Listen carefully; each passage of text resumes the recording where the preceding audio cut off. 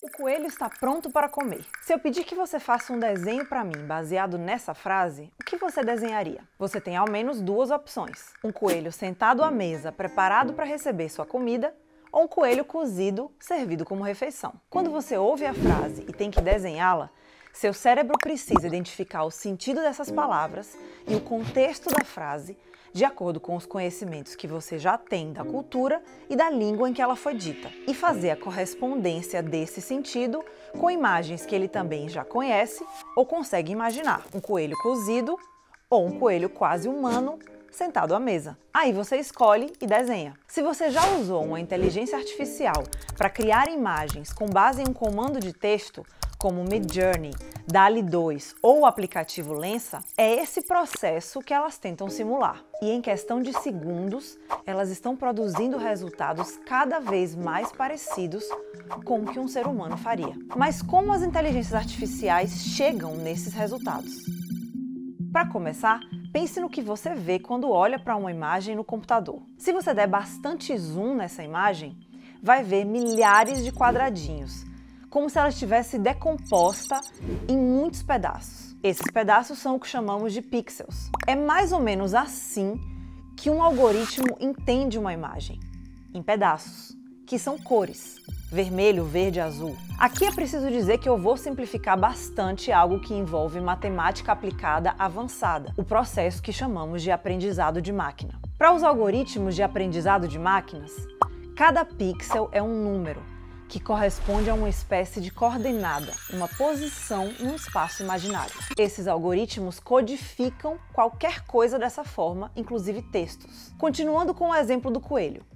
Quando você escreve uma frase em um desses programas, é como se ele transformasse essa frase em uma sequência numérica que ele mesmo inventou, encontrasse o equivalente dela em outra sequência numérica que representa uma imagem e decodificar-se o resultado em uma forma que nós possamos reconhecer, uma ilustração ou foto. Só que é ainda mais complicado que isso. Esse tipo de inteligência artificial funciona como uma rede complexa de neurônios que é treinada com bases de dados de bilhões de imagens retiradas da internet, acompanhadas de textos descritivos. Em seu processo de aprendizado, essa rede, que é feita de funções matemáticas complexas, mapeia cada pedaço dessas imagens e desses textos, estabelecendo relações entre eles. Essas relações permitem que o algoritmo saiba, por exemplo, que a palavra coelho corresponde à imagem de um coelho. Só que programas como o Midjourney,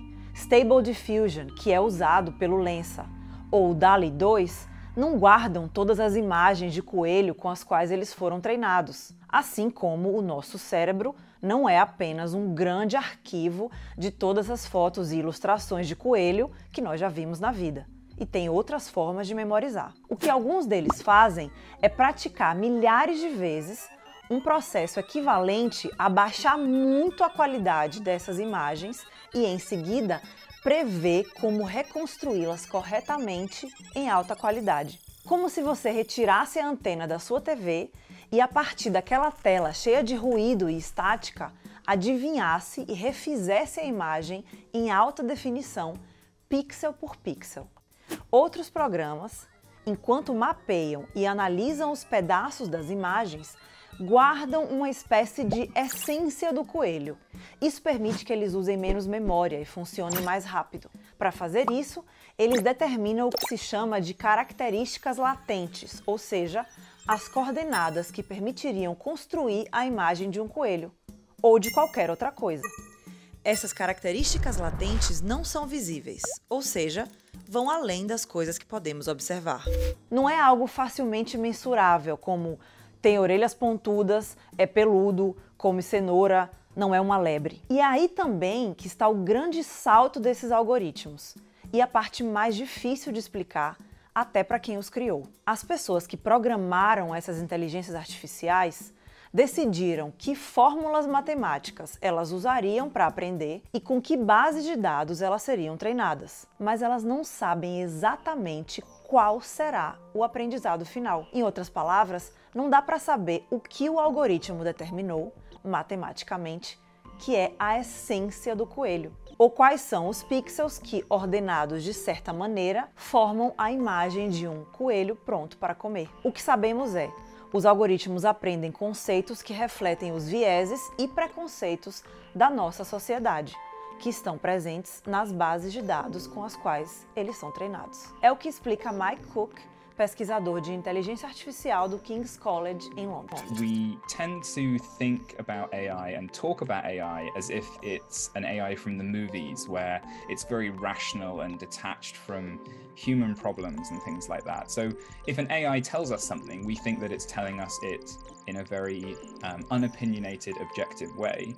Whereas in actual fact, it, it has inherited all of the biases and problems that were in its training data because the training data came from people like you and me and the things that we put on the internet. Em pouco mais de um ano e meio, passamos de inteligências artificiais que produziam imagens de baixa qualidade a programas que fazem vídeos curtos, animações e imagens em 3D a partir de comandos de texto. Essa evolução tão rápida significa que a tecnologia poderia dar superpoderes para profissionais em indústrias muito diversas. Imagine, por exemplo, um arquiteta criando um edifício com materiais ainda nem inventados. Ou cientistas conseguindo o desenho de uma proteína que não temos no nosso corpo para sintetizá-la em laboratório e criar um medicamento novo. Algo que, aliás, eles já estão tentando. Mas em pouco tempo, fomos de modelos fechados, usados por poucas pessoas, aos abertos, que passaram do milhão de usuários nos primeiros três meses. E tudo isso vem, é claro, com seus problemas. Por exemplo, comandos de texto com o conceito de mulher bonita ou com etnias específicas como mulher asiática costumam gerar mais imagens de nudez por causa da prevalência da pornografia na internet. Da mesma forma, pessoas não brancas têm reclamado da dificuldade das IAs de criar imagens com as suas características. E nas indústrias criativas que estão sentindo o impacto imediato, já começaram os protestos. Muitos artistas reclamam de que quando seu trabalho e seu estilo é usado para treinar inteligências artificiais e gerar imagens, isso equivale a roubo. Algumas agências de imagens já prometeram compensá-los financeiramente mas muitas obras já foram usadas sem consentimento. E há um problema ainda mais sério: a desinformação e o discurso de ódio. Seria possível criar fotos e vídeos falsos para fins políticos, campanhas de assédio ou bullying. Alguns dos programas estão tentando evitar o mau uso da IA colocando filtros, mas outros deixam o controle para os usuários, o que não tem funcionado muito bem. Esse debate nos leva a uma visão assustadora do futuro próximo. Se a inteligência artificial já pode criar imagens tão boas, tão rápido, como saberemos se um registro foi realmente feito por alguém com uma câmera na mão na vida real? Para Mike Cook, pesquisador de inteligência artificial, ainda dá para ser otimista, mesmo que pareça difícil. There have been some interesting movements from places like the European Union to propose legislation to restrict AI, but it's still moving way, way slower than the tech industry is. And because the tech industry is concerned about progress more than anything else, we're seeing speed come. And that's what's causing a lot of these problems. When things are going this fast, we're we're not like applying the brakes, we're not thinking about the dangers. And it's that mid period that's going to be quite dangerous while society adjusts to all of these changes.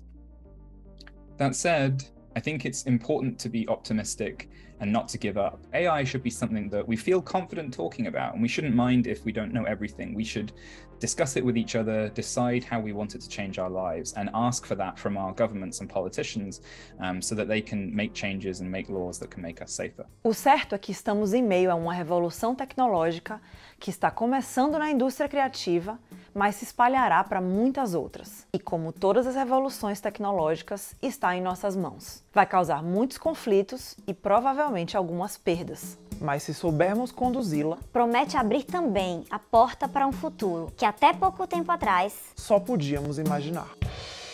Para assistir a mais vídeos como esse, é só conferir o nosso canal no YouTube, nossas redes sociais, Instagram, TikTok, Twitter e Facebook e nosso site, o bbcbrasil.com. Obrigada e até a próxima. Tchau, tchau.